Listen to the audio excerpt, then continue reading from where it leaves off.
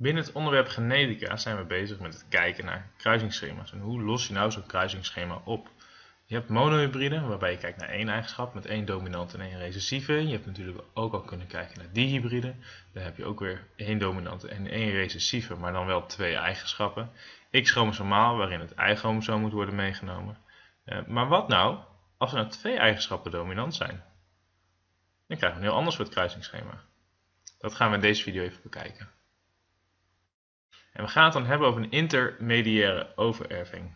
In het geval dat ze beide dominant zijn, spreken we ook wel van co-dominant.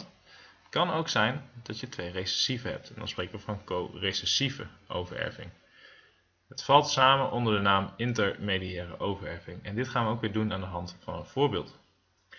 We kijken naar het volgende verhaaltje. Bij een bepaalde bloemsoort kunnen bladeren in verschillende kleuren voorkomen. Paarse bloemen ontstaan door een recessieve variant K. De rode bloemen als de witte bloemen zijn het gevolg van het dominante allel K. Is zowel het allel voor een witte als een rode bloem aanwezig, wordt de bloem roze. Een heterozygote witte bloem wordt gekruist met een heterozygote rode bloem. Wat is de kans op roze bloemen? Je ziet, hier gaan we al verschillende dingen door elkaar halen. Dus we hebben witte bloemen die dominant zijn, maar ook rode bloemen die dominant zijn. Hiermee kunnen we een heel goed kruisingsschema maken. We beginnen weer zoals we altijd beginnen met het noteren van de eigenschappen. En je noteert die eigenschappen altijd rechtsboven. Uit de tekst kunnen we zien dat paarse bloemen ontstaan door het recessieve variant K. Rode bloemen als witte bloemen ontstaan door het dominante allel K. Dus in plaats van twee variaties hebben we er nu drie, dus we moeten iets meer opschrijven. De hoofdletter is natuurlijk altijd dominant, zoals in de tekst ook staat, en de kleine letter is recessief. je schrijft het dan als volgt op. Je schrijft hoofdletter K met een R daar rechtsboven van is rood en hoofdletter K met een W rechtsboven is wit. De kleine k is paars. En vooral dat rood en wit is even belangrijk om naar te kijken. Dat die kleine k paars is, dat halen we uit de tekst. Zowel rood als wit heeft het dominante allel k, dus die moeten we bij beide neerzetten. Maar als we alleen een hoofdletter k neerzetten en daarachter rood of wit, weten we nog steeds niet of een bloem rood of wit zal zijn. We moeten dus bij dat dominante allel de mogelijke variatie weergeven. En in dit geval bij rood is dat dan een hoofdletter K met een R van rood en een hoofdletter K met een W voor wit. Let hier dus goed op op het moment dat je bezig bent met een intermediaire overerving. Voor je eigen gemak en voor je eigen overzicht is het belangrijk om ook de codominante variant erbij te zetten. En oftewel uit de tekst halen we dat als wanneer een wit allel en een rood allel aanwezig is, dat de bloem roze wordt.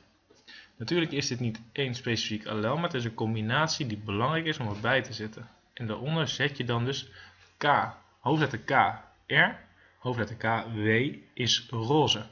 Zodat je voor jezelf zeker weet, hey, op het moment dat een KR, KW is, is de bloem roze. Nou ben je volledig in het noteren van je eigenschappen. De tweede stap was alweer het noteren van de eigenschappen van de ouders. Je begint weer met de hoofdletter P, dat is de oude generatie.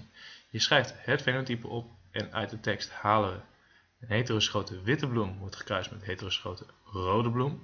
We hebben dus wit keer rood.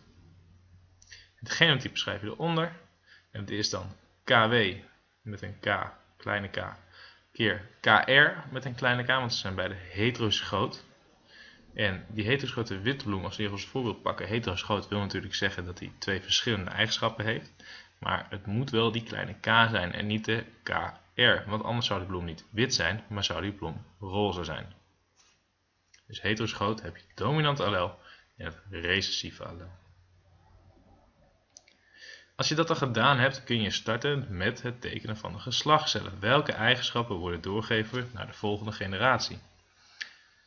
En het ziet er als volgt uit. Je trekt weer een lijn vanuit het specifieke allel. Trekt er een cirkel omheen als zijnde dit is een geslachtscel.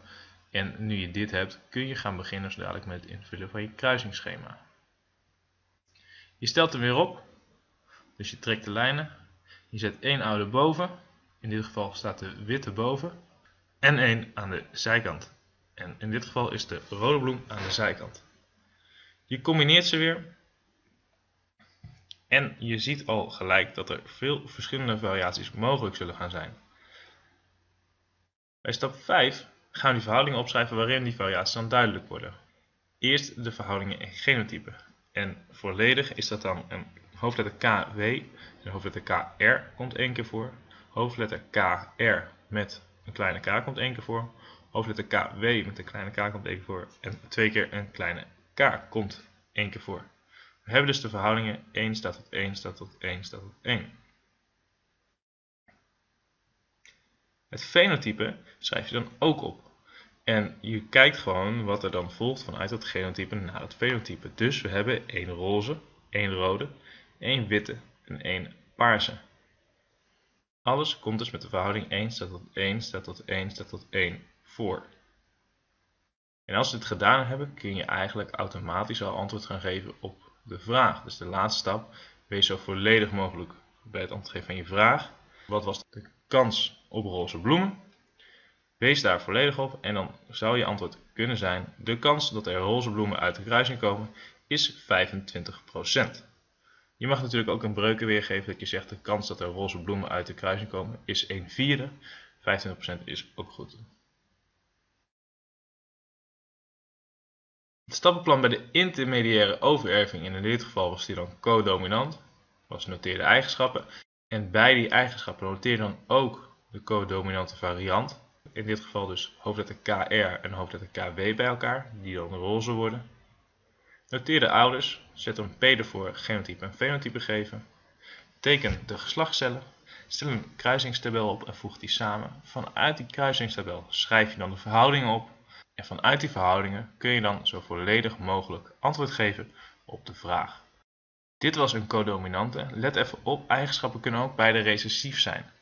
En in dat geval spreken we van een co-recessieve overerving. Het werkt hetzelfde in het stappenplan.